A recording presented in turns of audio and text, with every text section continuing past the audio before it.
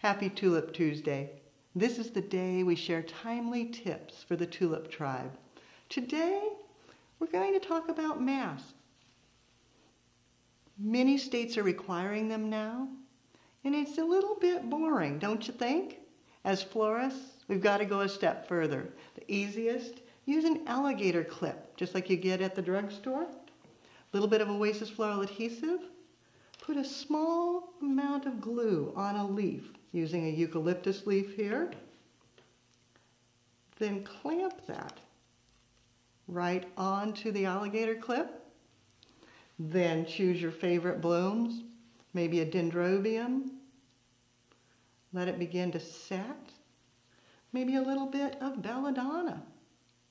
Again, let it set, start to dry just a bit.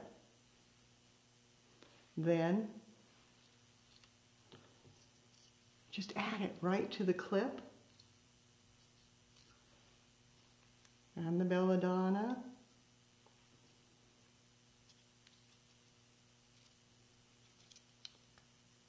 Hold for a bit until it sets, just giving it a tiny bit of pressure to secure it in place.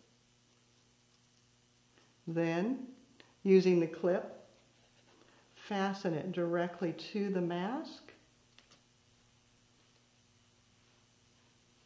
And you're ready to go. Updated Masks for the Tribe, the professional technique.